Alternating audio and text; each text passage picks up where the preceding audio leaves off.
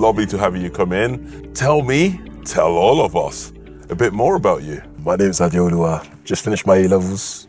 I'm off to university at Durham to study theology. Talking about finishing A levels, I'm told that you've actually just finished five arduous years at Eton. What was that like? There was the good, there was the bad, there was the ugly. I enjoyed it.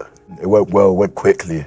COVID made that, uh-huh. made that go very quickly. But I'm happy to be at the end of that onto my next journey, which is off to going to university. So, Yes. And what you're going to be studying at Durham? uh, theology, theology, yeah. Lot to look forward to at a great institution. Thank you. Now, you've just recently come back from two weeks in Londrina, Brazil, where the Jesus House uh, mission uh, is based. Tell us a little bit about that. Uh, the journey there was tough. I missed my connecting flights because there was a delay from Heathrow to Madrid. So the first two days were I was basically stranded in Madrid, and uh, my dad was on the phone um, calling the airlines. He was going back and forth. That was that was fun. um, but we prayed. I, I came very close to giving up on the trip, but we prayed and we finally Wow. got through. And then I arrived in Londrina, saw Pastor West, saw his team, Yeah. and uh, the first thing I had was a pastel. Yeah. Um, they were amazing. I couldn't stop eating them, and I miss them now. But bringing you back to London before you get onto that flight, what made you decide to go on this mission trip? That's a that's a great question. For me, it'd always been Pastor West had always told me I was always welcome to Brazil, but the original trip wasn't to go there. It was to go to Cuba Havana um, with my boy Lockie. He didn't want to go there anymore.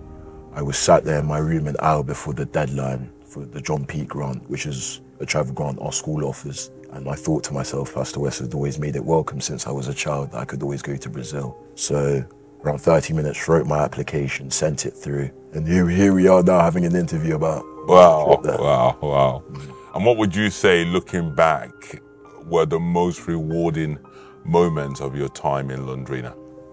it was it was the love it was the love i received i remember going to a recycling farm. I think it was my third fourth day. Pastor west waked me up and said it's time to work.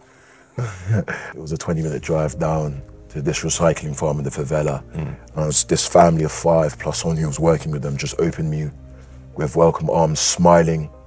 Um, i said i was going to learn portuguese before i went. Um, i didn't. So the language there was a huge language barrier there but the love they gave me was able to to overcome that Yeah. um, it was it was amazing i worked with them i had lunch with them i played football with the kids uh, Eto and william we, we did a little rondo in the in the recycling farm it was it was a great time Uh, it certainly sounds like fun. You talked about the love. How would you say your time there affected your faith? it was mainly it made me truly grateful for what I had back home. Now I look back, I had been ungrateful on things I had had. For example, often I'll take the train from where I live, Hatfield, all the way to to Windsor, and I'd be like, "Why can't mommy and daddy drive me to school this time?" But they there have to walk everywhere, sometimes with holes in their shoes. Um, the clothes we wear um, I I have clothes. They're clean, no holes in them. Theirs have holes in them. They're dirty. Um, but also beyond that, it was I have a village. I have this church around me. I have my family around me. I'd gone to decent schools. Um, all of this support system that I'd had growing up has helped me become the person I am today, and hopefully will develop who I am going going forward. Indeed. However, some of the people had been neglected by their society. A lot of the children often falling down the wrong path very quickly because they don't have that support system. Um, again, the the gratitude, the appreciation was, was probably the thing I loved most about going to Londrina. Mm.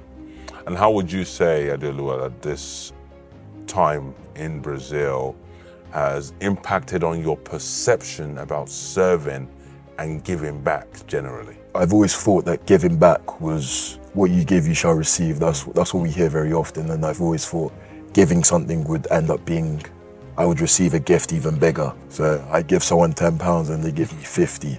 Great business. Going to Brazil, it was completely different to what I expected. It was completely different to what I had thought. Giving back and receiving was. It was the warmth I felt seeing the smile on these people's faces by just a small act of service.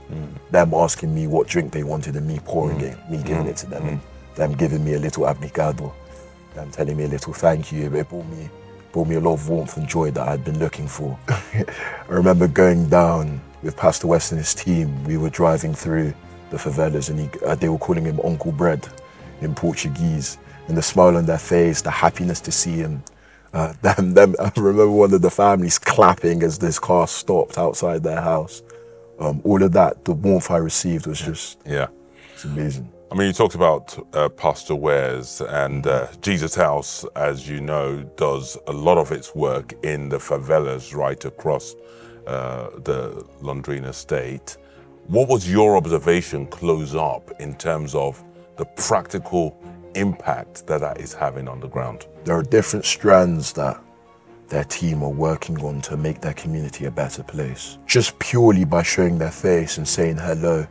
Uh, Pastor West, Amanda, and their team would go around just, oh, they would always take the longest route back, back home. Say hello to everyone, check up on everyone, their well being. If they needed anything, it'll be there within the 48 hours. I think that, just showing the care, the support that Jesus has for that community was, was immaculate, was amazing.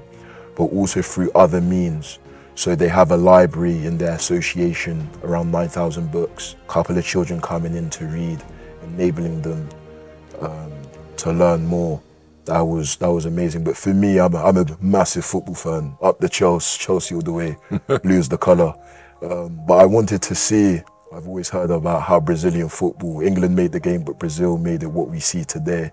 And I wanted to to see how see how they played in the favelas. So I went over to the Jesus House Academy and where they was first of all was like FIFA. Like I'm becoming a fanboy here. Where, where it was first of all, it was like FIFA. Um, the cage, the colors on the ground. Uh, instead of white lines, they were green. It was it was amazing. and then um, seeing the children play as well.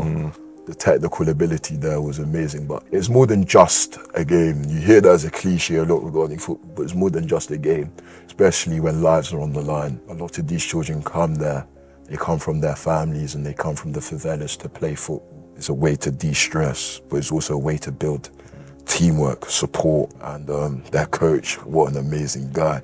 You saw me. I had blonde hair at the time. He shouted at me, "Vinicius Junior." um, but yeah, that that was just a beautiful, a beautiful thing to see, and that's some of the work that Jesus House is doing in the Londrina project. Yeah. You talked a lot about the favelas and uh, the experience that you had going into the favelas, meeting people in there. Describe that for us. What was life like in the favelas?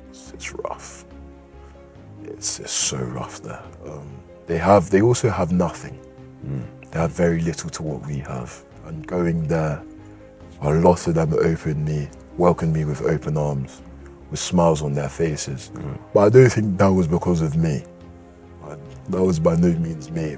Whenever I was by Pastor West and Amanda and the team in Brazil, there was just joy lit up on their faces. And by association, that joy came to me. Um, they're very grateful for what they have. Um, so grateful for what they have, and they're grateful for what they receive from Pastor West and the team there.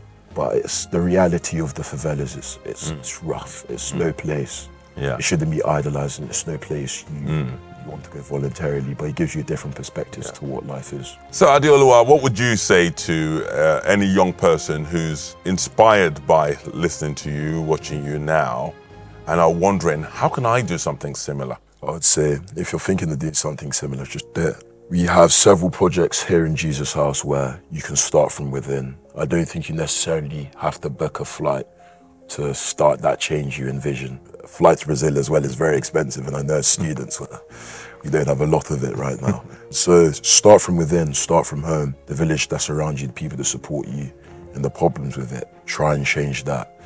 And again, we, we have that. We have several projects in church. Christmas lunch with Jesus. I've participated in that. Uh, a couple of years ago, me and the me and mates, I remember in this big auditorium, packing up some turkeys in the boxes, getting ready for them to be shipped off. When I get my driving license, I'll be doing the shipping off. I, I think driving will be a bit more fun than the, the packing in here. Um, Secondly, I think be yourself.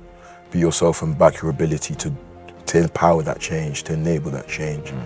I think people will like you for it. People won't like you for it because some people don't necess- always necessarily see change as good. But do it with conviction, back yourself, and it will get done.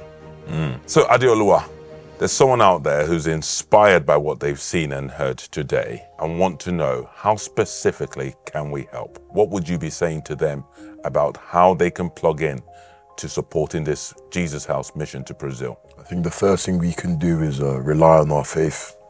I think prayer goes a long way. Ask God, how can He help us with this mission? And I think personally, it will be it can vary to different people in this church. And God might give someone an original idea on how to progress the mission even further. Um, for me, prayer comes through short bursts. I just close my eyes, not verbally, and ask God, how, "What can you do for me? How can you help me, dear Father God? What do you want from me?" Um, and vice versa, I ask Him for help as well. Secondly, I think giving your time that can be here, that can also be in Brazil. Mm. Um, if you have the means to take the flight, give your time there, see it for yourself.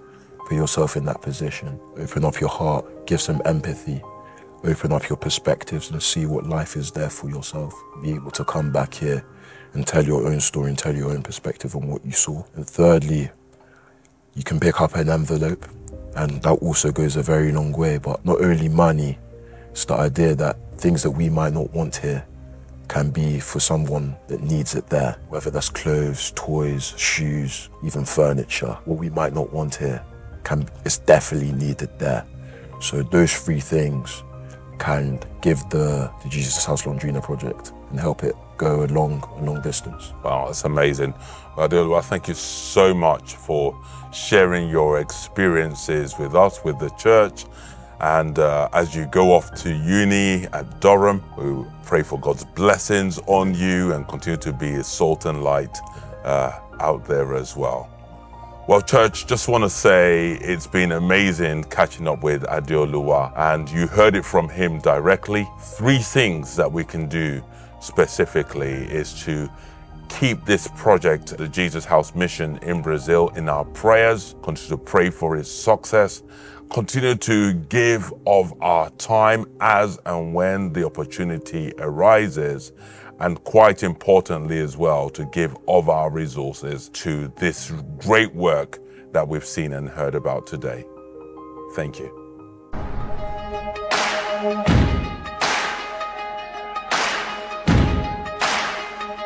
Why you ever chose me has always been a mystery all my life. I've been told I belong. At the end of the line With all the other not quite? With all the never get it right? But it turns out they're the ones you were looking for all this time. Cause I'm just a nobody Trying to tell everybody All about somebody since you rescued me. You gave my heart a song to sing. I'm living for the world